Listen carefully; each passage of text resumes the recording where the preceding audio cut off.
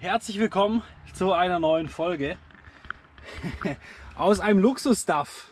Ich weiß nicht, ob ich schon mal so einen hübschen, also so einen schönen Duff gefahren bin von innen. Von außen sieht er aber auch ziemlich gut aus. Äh, es ist nur noch dunkel, deswegen zeige ich es nicht. Und mir ist gerade aufgefallen,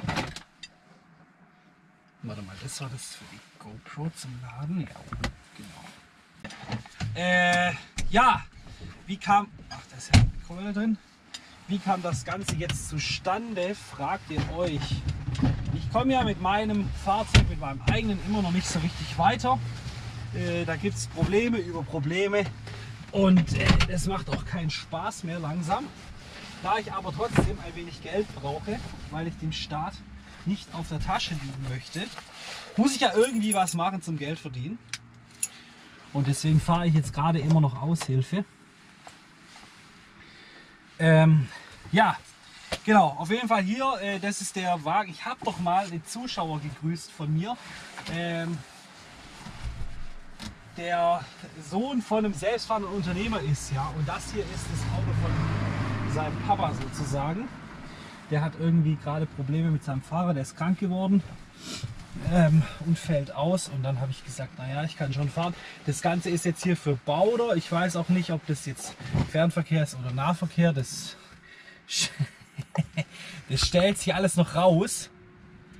Aber ja, was mir gerade aufgefallen ist, normal, ich dachte, das hat der DAF immer, aber scheinbar hat er das gar nicht immer. Ja, hier sind, bei Borches hatte ich ja immer hier diese Steckdosen. Ne? Ne? Da einmal USB-Anschluss und da einmal USB zum Laden. Hat er hier gar nicht. Ah, es ist alles wieder, variiert alles immer. Dann bestellst du das, hast du hier den tollen, teuren Innenraum. Kostet anscheinend 4.500 Euro extra oder 5,5, nur die Sitze und dieses, dieses Holz hier und so.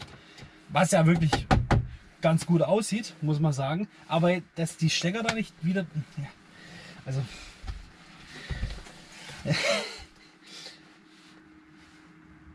ja, ich muss jetzt nach Völklingen. Ich glaube, da war ich auch schon mal bei, mit Borchers bei der Firma. Ähm, ja, Völklingen ist ja so wie England, ne? also so wie England fahren. Nicht ganz so, aber fast. So kurz vor England dann rechts weg nach Völklingen. Ich sollte eigentlich ja also richtig Hängerzug fahren mit Stapler hinten dran, wenn ich das gewollt hätte. Also so richtig im Nahverkehr. Ähm aber das hat jetzt leider doch nicht geklappt, weil er den Hängerzug jetzt doch lieber selber fahren wollte. Und wieso habe ich das nicht so richtig verstanden habe. Ähm, deswegen fahre ich jetzt hier mit dem Sattel und bei dem Sattel ist halt so, da ist mal so, mal so, mal so. Ja, also mal Fernverkehr, mal Nahverkehr. Ähm, ist immer unterschiedlich.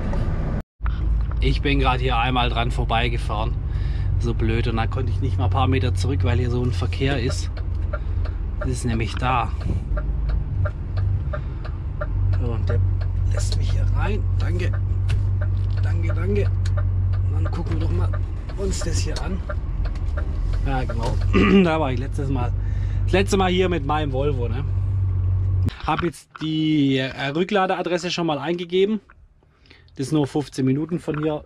Und das sollte jetzt eigentlich auch relativ schnell gehen mit dem Entladen. Hier ist ja nur Palettenware. Und dann äh, geht es gleich weiter. Ja, zack, zack. Eine Stunde später. Leer. Oder sagen wir mal anderthalb. Ähm,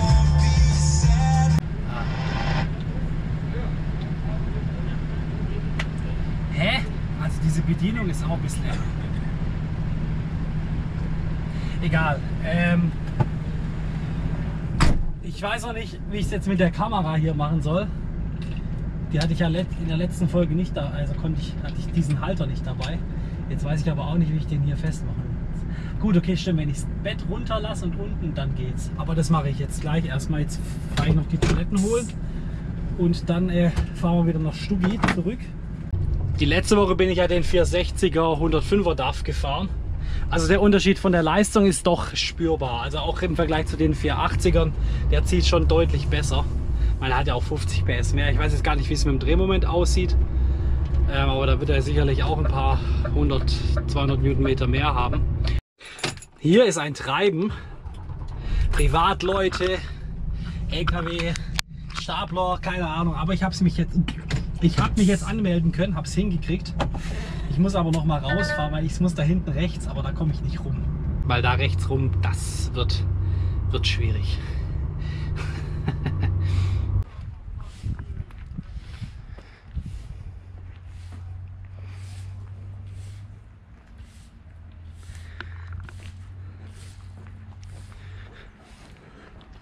Ich habe mich jetzt hier richtig ein abgemüht. Ich habe mir jetzt hier richtig ein abgemüht. Mein Deutsch war auch noch besser. Ähm, ja, jetzt kommt wohl einer in 15 Minuten. Die haben gesagt, geh nach hinten, geh zu dem Kollegen, der hinten ist. Und jeder Kollege, der hinten war, war nicht der Kollege, der hinten ist. Verstehen Sie? ja, aber jetzt hat irgendeiner hat telefoniert, hat sich erbarmt und telefoniert. Jetzt klappt's. Alter, das dauert echt ewig hier. Oh, ich stehe schon jetzt. Na ah gut, ich habe auf Arbeitszeit gestellt, das kann ich wieder wegmachen.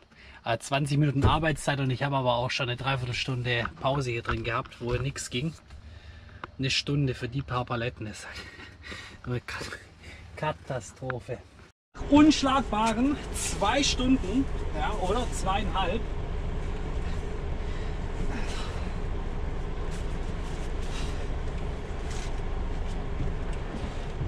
mache ich mich jetzt mal auf den Weg nach Stuttgart. 15.30 Uhr bin ich unten.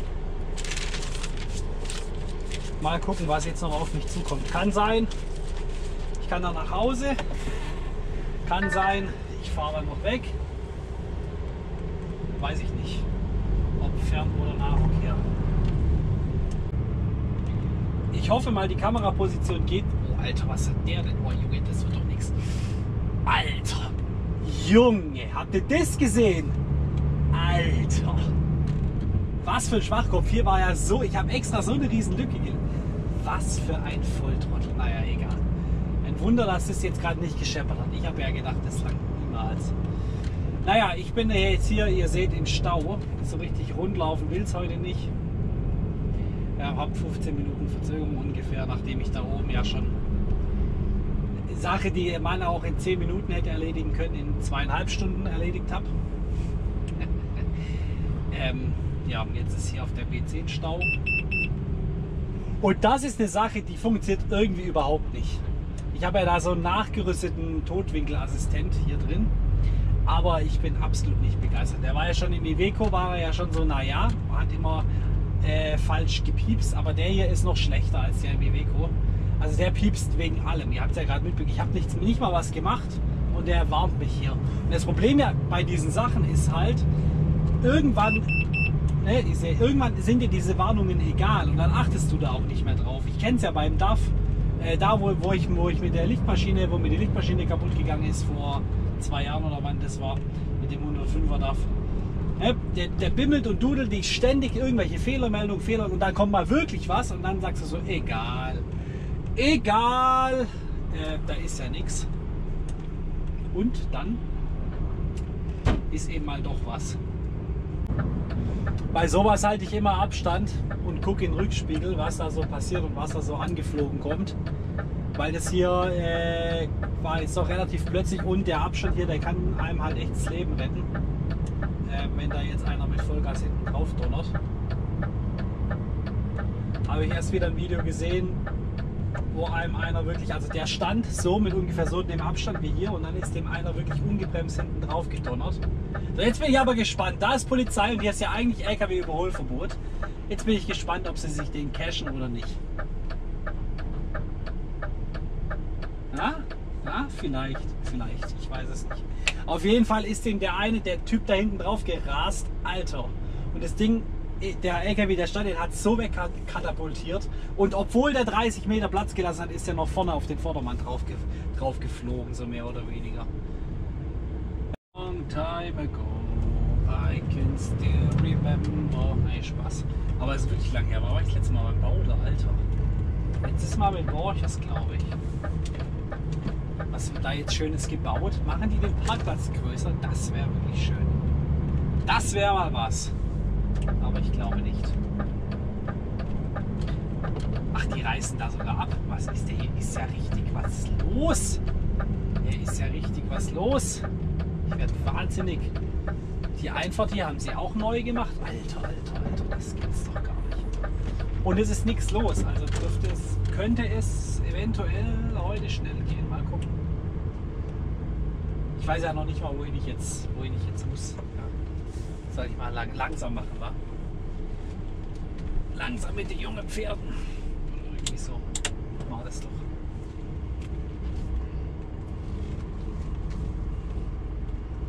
Was halt echt äh, ein Nachteil ist, dass ich nichts zum Essen dabei habe. Gar nichts. Ich habe so einen Hunger. Das ist nicht mehr normal.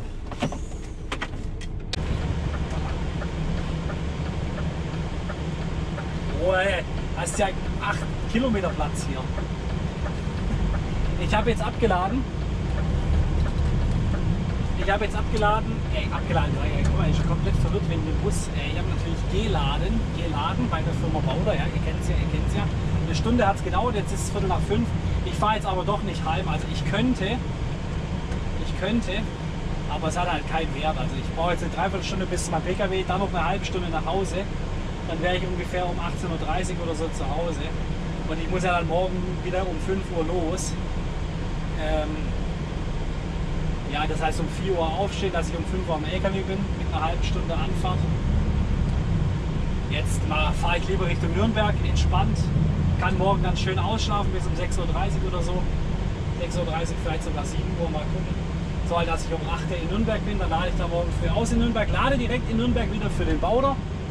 Und dann bin ich morgen Vormittag wieder hier. Und wenn ich dann eine gute Tour kriege, dann kann ich nämlich morgen nach Hause. Und dann lohnt sich auch. Ja? Also wenn die Tour passt, dann kann ich immer nach Hause fahren. Beziehungsweise auch, naja, wenn es ein bisschen Umweg ist, geht es auch.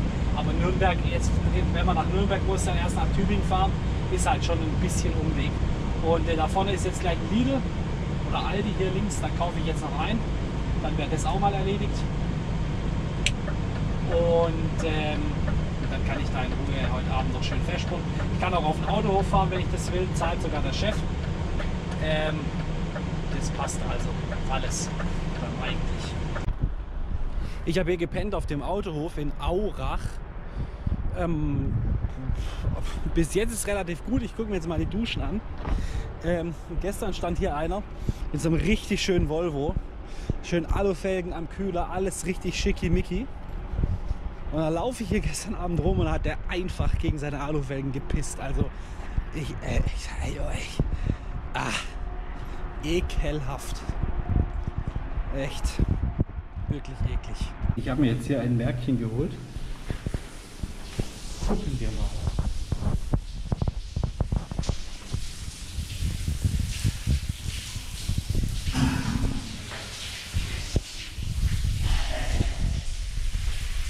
Die Duschen waren okay. Ich habe jetzt 12 Euro bezahlt fürs Parken, aber 7 Euro, also eigentlich 5 Euro habe ich bezahlt fürs Parken. 7 Euro Verzehr, da habe ich so einen Kaffee bekommen hier und so ein Brötchen, also ist vollkommen in Ordnung. Äh, ja, jetzt gucke ich mal, ob ich schon losfahren sollte oder nicht. Also das, ich habe heute mehr als genug Zeit. Aber ja, jetzt ich, äh, muss ich das irgendwie logistisch lösen hier. Ob das alles geklappt hat mit dem Bezahlen? Ist ja auch eine Schranke, ne? Kann ja, die gehen ja bei mir, gehen ja so Schranken gerne mal nicht auf. Man kennt es.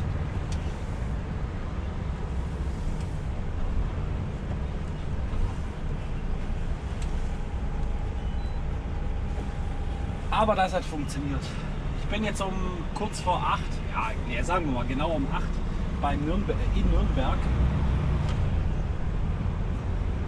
Und ähm, ja, ich lade ja da aus und lade da direkt wieder und dann fahre ich wieder zweieinhalb Stunden runter und dann gucken wir mal. Wenn sie mich jetzt in die richtige, in Anführungszeichen, Richtung schicken danach, dann bin ich dann heute so relativ früh zu Hause. Ich weiß es halt nicht. Also das ist halt ein bisschen ein Nachteil hier dass man es halt nicht in, also dass es weder der Simon hier, der Chef, noch ich in der Hand habe. Da ist eine Baustelle davon. Oder wie ist das hier?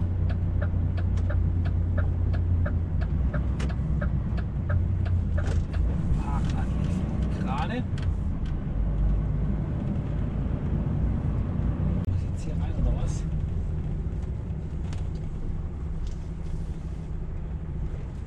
Hä? Hä, bin ich jetzt schon. Bin ich jetzt schon dran vorbei oder was? Ich check's nicht. Jetzt ist natürlich nur die Frage, fahre ich noch mal ganz hoch?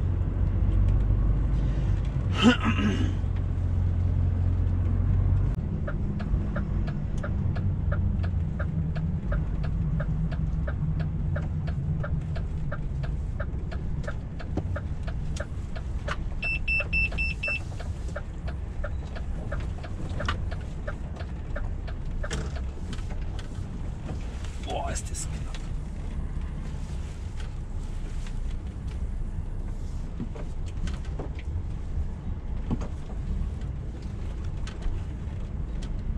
So, also gucken wir mal, ob das hier funktioniert. Also hier, hier ist es nicht. Jetzt fahre ich wieder raus. Ja. Das ist irgendwie doof. Das hier so funktioniert.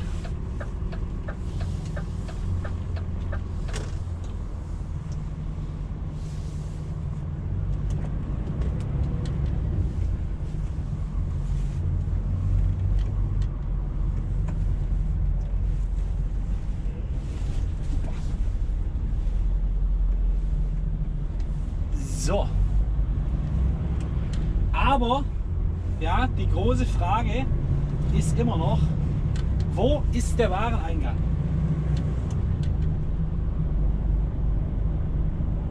Weil das ist ja auch nicht der Wareneingang. Da komme ich ja nicht ran. Ich check's nicht. Äh.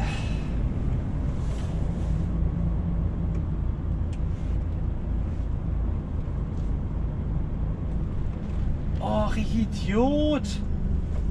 Es ist gar nicht der Kunde! Alter, wie dumm! Wie dumm! Der heißt Dachdecker Einkauf Süd EG und ich dachte, das ist abgekürzt mit DEG. Und DEG ist aber Deutsche Elektrogruppe und nicht Dachdecker Einkauf EG. Oh, wie dumm! Ah, Exkursion hier habe ich es jetzt endlich gefunden. Jetzt suche ich hier gerade noch irgendwo einen Platz, wo ich drehen kann. Ich das noch nicht so ganz gecheckt habe, wie das da bei denen funktioniert. Nirgends ist, äh, kann man da gescheit drehen und wenden und keine Ahnung was. Also es ist alles eine Katastrophe gerade ein bisschen. Und vor allem der Hof ist auch brutal eng von denen. Keine Ahnung, ob man da dann auf der Straße ablädt oder ob ich da dann wirklich reinfahren soll oder weiß der Kuckuck was.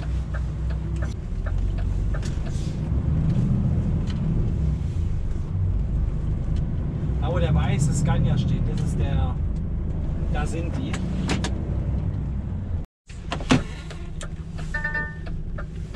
Also jetzt mal gucken. Es kann jetzt sein, dass ich hier nicht reinkomme, weil ich jetzt von der falschen Seite, da muss ich wieder drehen. Aber wir werden es jetzt einfach mal probieren. Aber ich das, nee, das schaffe ich nicht von der Seite. Muss ich erst kurz drehen, beziehungsweise hier und dann kurz rückwärts fahren. So. Also, let's try it again. Die Einfahrt ist halt so verdammt eng. Aber hier habe ich halt mehr Platz, ne? Da kann ich halt jetzt gerade noch mal gerade ziehen. Aber nee, da wäre ich andersrum nicht angeguckt. Keine Chance. Das ist ja jetzt schon grenzwertig.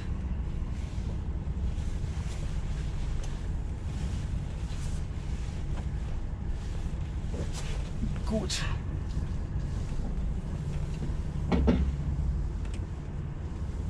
Geschafft.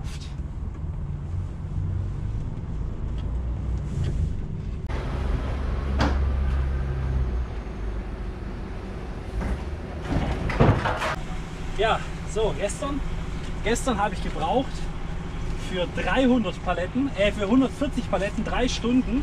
Heute habe ich gebraucht für, äh, für 300 Paletten nicht mal eine Stunde oder gerade eine Stunde. Ich bin jetzt beim Bauder und darf warten, natürlich. Ähm, ich habe aber, gestern war ich schlau beim Aldi, mir diese Dinger gekauft. Die ist von so einer Metzgerei. Die gibt es aber auch nur in Baden-Württemberg, glaube ich, die Teile. Ähm, das ist eigentlich ganz geschickt, weil nämlich, ich habe ja hier oben, ich weiß nicht, ob ich es schon mal gezeigt habe oder schon gezeigt habe, habe ich eine Mikrowelle. Haha! Und jetzt kann ich schön die Dinger hier rein, das Ding hier rein. Das ist vom Schmelzle aus Reutling sind die, glaube ich. ist echt gut. Wenn ihr mal bei Aldi seid hier, das, die haben immer richtig gutes Essen. Gibt es auch vegetarisch und auch ohne, keine Ahnung was und was ihr wollt, haben immer verschiedene Varianten zur Auswahl. Jetzt mache ich da mal schön Löcher rein und dann gibt es lecker Mittagessen. Ich habe fertig geladen. Ich war wieder in Saarland Ihr wisst ja, wo jeder mit jedem verwandt ist und so. Jetzt gleich wieder die Saal. Hey! Ja, aber das ist schön. Also ich muss wieder zu dem Kunden, wo ich am Montag war. Ähm, und dann habe ich aber noch zwei andere Abladestellen davor. Äh, in Dahn und in äh, nach St. Ingbert. Das seht ihr aber dann in der nächsten Folge. Ich mache jetzt nämlich einfach ganz, ganz arg frech, mache ich zwei Folgen daraus. Ja. Ähm, und äh, ja, ich wünsche euch was. Macht's gut, haut rein. Bis ein Däumchen wäre ein Träumchen. Und bis zur nächsten Folge, die dann demnächst kommt. Äh, überlegt euch mit dem, mit dem Jobangebot. Wie gesagt, das ist hier offen. Kommt ja noch eine Folge, könnt ihr euch auch noch mal reinziehen. Und ähm, ja, dann äh, ja, einfach. Ich habe jetzt geladen und zwar äh, für das Saarland mal wieder. Also einmal der Kunde, wo ich am Montag war. Gott sei Dank, ich muss nichts zurücknehmen. Also ich fahre hin, fahre leer wieder zurück. Er muss keine Paletten holen, nichts. Ja, danke, danke, danke. Drei Kreuze, nicht nochmal dahin. Bitte nicht. Ähm und ja, das seht ihr aber in der nächsten Folge. Also ich muss nach Dahn, St. Ingbert und letzte ist der Kunde vom Montag in Völklingen. Und äh, ja, dann wieder leer zurück. Das ist aber in der nächsten Folge gibt es das zu sehen. Dann äh, ja, sehen wir uns am Sonntag, müsste kommen nächsten Folge hier aus dem Luxus-Stuff. Ja. Macht's gut, haut rein und äh, bis demnächst. Achso, ja klar, ein Däumchen wäre ein Träumchen.